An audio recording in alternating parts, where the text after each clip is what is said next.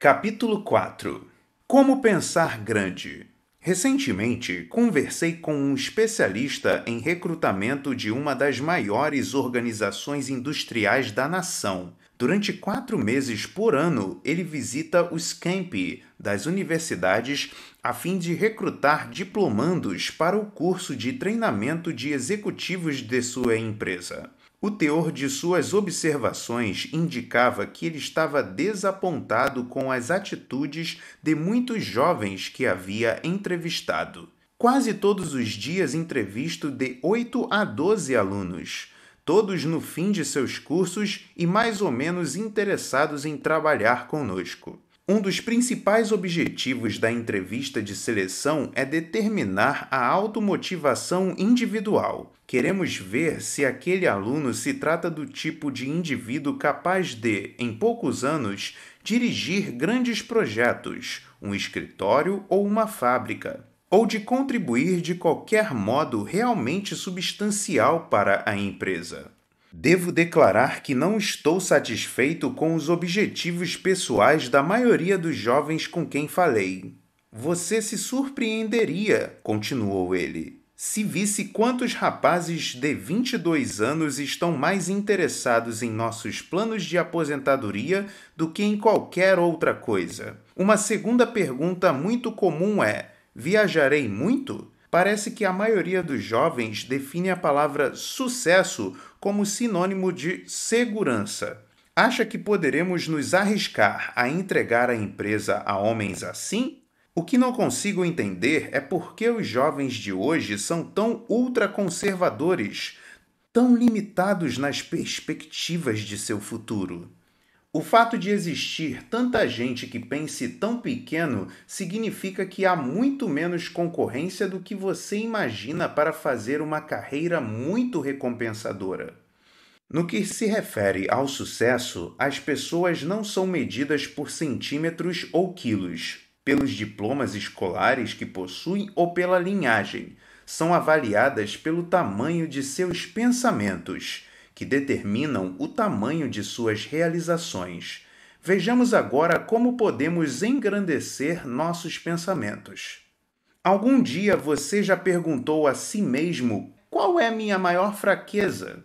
Provavelmente a maior fraqueza humana é a autodepreciação, isto é, o vender-se barato. A autodepreciação se evidencia de vários modos. John vê no jornal o anúncio de um emprego. É exatamente o que ele deseja, mas ele nada resolve porque pensa assim: para que me incomodar? Eu não sou bom o suficiente para isso. Ou então Jim, que deseja convidar Joan para sair, mas ele não a telefona, pois pensa que ela jamais se interessará por ele. Tom sente que o Sr. Richard seria um bom cliente para seus produtos, mas não o procura. Acha que o Sr. Richard é importante demais para atendê-lo. Pete está preenchendo um formulário de pedido de emprego. Há uma pergunta que diz: Com que salário deseja iniciar?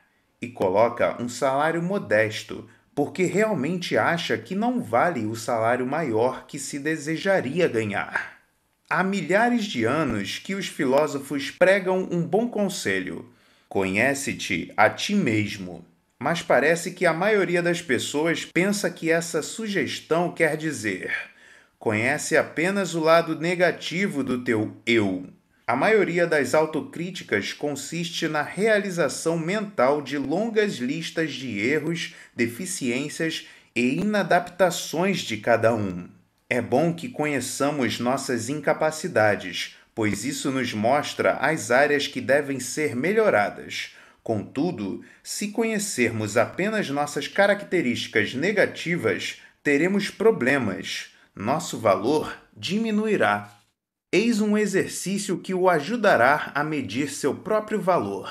Tenho-o utilizado em programas de treinamento para chefes de vendas ou de pessoal e funciona. 1. Determine cinco de suas principais habilidades. Peça o auxílio objetivo de um amigo, possivelmente sua esposa, seu chefe, um professor, uma pessoa inteligente que lhe dê uma opinião honesta. Exemplos de itens frequentemente registrados: educação, experiência, habilidade técnica, aparência, vida doméstica bem estruturada, atitudes, personalidade, iniciativa.